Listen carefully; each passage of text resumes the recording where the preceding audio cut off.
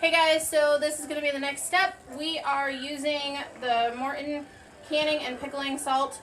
Uh, it's going to be one third cup, but we're going to triple that because we have a bigger batch. We've tripled the batch that we're doing. So it will be three of these. And you're just going to pour it all over. And then once we've poured all of that over, we're going to put some ice over it and let it set for an hour and a half.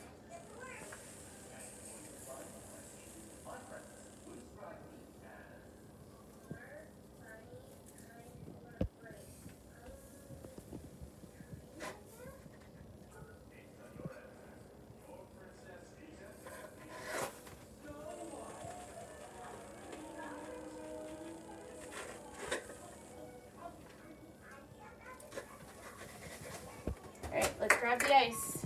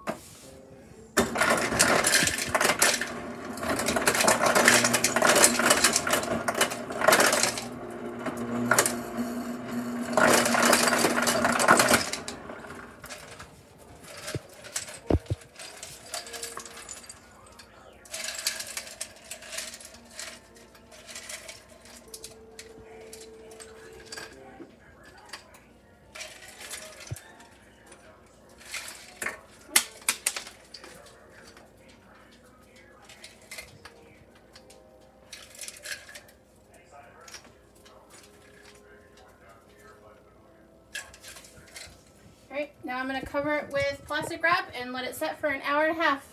Wait for the next step.